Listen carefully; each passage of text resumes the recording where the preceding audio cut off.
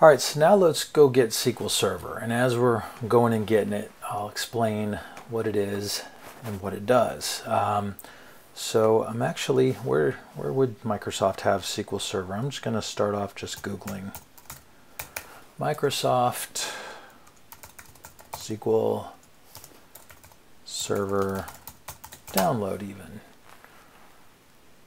Let's see what comes back.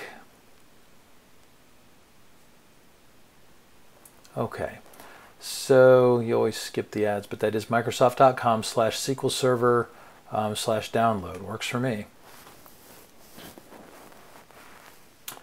All right, so this looks like a pretty official page. It's from Microsoft. It's to go get uh, the SQL Server. Now, a lot of different flavors and editions of SQL Server, which we can get into on a different topic. Right now, let's just go get it. So SQL Server is Microsoft's database where we store data that we're going to use with our applications. Um, we want to go get the developer edition, which is free. So SQL Server 2017 developer, and it is free. So I'm going to go ahead and kick this off and we'll talk about it. Um, so down here at the bottom, what do you want to do with the exe? I'm just going to run it to do the install. And yes, to allow it to make changes on my computer.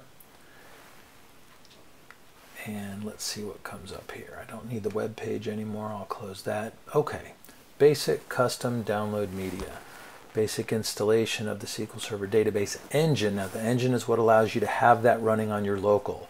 There's a front end tool that a lot of SQL Server people use called SQL Server Management Studio that is the front end, whether you have a local engine on your um, personal computer or you're using a database that's on a server in the cloud or somewhere else you're going to use the SQL Server Management Studio, but we need the engine on your local, or we want the engine on your local machine so you can do things in isolation just on your own um, before doing our cloud whatnot. So custom steps you through, allows you to choose this, that, and the other.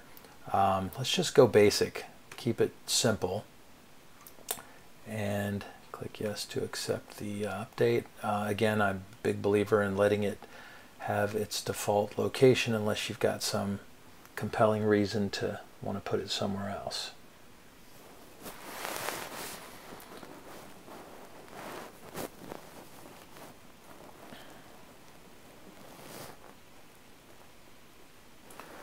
All right, so this is going to take a couple minutes. Uh, so we will, um, I'll pause and pick it up at the end of this so we're just not sitting here watching the grass grow. Okay, a few short minutes later, here we are at this screen. Installation has completed successfully. Um, it's got all the places where it wants to put things. And we could connect now, but I mentioned SSMS, SQL Server Management Studio. You would think, why do I have to install something? Didn't it already install? It installed the engine, but SSMS, which is a free download um, for anyone, um, it's the front end that is most used to connect to and work with it. So let's make sure that we have that as well. Um, how do I want to keep this open? What does that mean? I don't know. I'm just going to click OK. And oh, it takes me somewhere else for the for the SSMS download. Okay, so download SSMS 18 GA general availability. Make sure we're on a Microsoft site or at least someone we trust. And that does seem to be the right link here. So let's um, go ahead and click that guy. Down here at the bottom, I'm just going to go ahead and run it.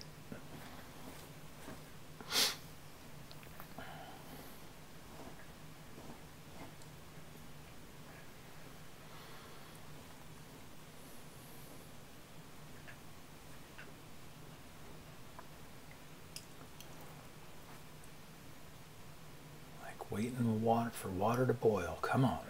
There we go. All right, yes to allow it to make changes to your machine.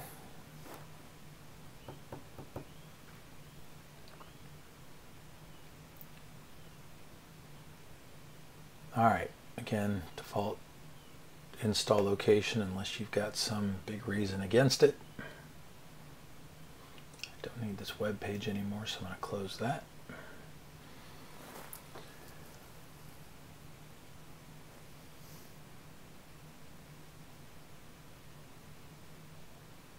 I don't think this should take very long, but I'll go ahead and, well, yeah, I'll go ahead and pause it. We'll catch up when it's done. All right, so that took a little longer than I thought it would, and it's saying restart, which you would think, oh, just hit it, but hang on, because we want to make sure that the other install, the main engine, we, there wasn't anything else with that before we just hit this. So down here you see we have two active things open, so I'm going to just go back to this one.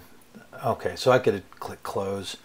We'll come back and connect after um, it does the restart. So I'll close that guy. Oh, yeah, I'm going to exit it and then do the restart. All right. So we'll catch back up after this comes back up. All right, came back up, so let's uh, click the start button and then I'm just going to type SSMS and it found it right away and like I like to do I'm just going to go ahead and pin it to start and then pin it to my taskbar and then launch it. let's just make sure we're into it before we end this lesson. So Again, Management Studio is independent of there being a database engine on your local machine. It's just a front end as an application that can then hook into Azure databases, databases on other servers, or your local database if you happen to have one. But since you chose SQL uh, Developer Edition, that gives you the engine locally. And I'm guessing it's taking an extra long time now because it's a first time install. It also might have to do with the fact that it's such a fresh Windows 10 install too. It's probably still indexing some things. Okay. Well, pop up already. Okay. And comes up with this here as far as uh, looking for a server name. So that's just the name of this machine here, uh, which that would work. Um, Windows authentication, if I hit connect, you then see over here databases, security. We, we're, into our we're into our uh, management studio, looking at our local environment. So, end of the install and config, and we'll pick up with actually doing some with, something with it in the next lesson.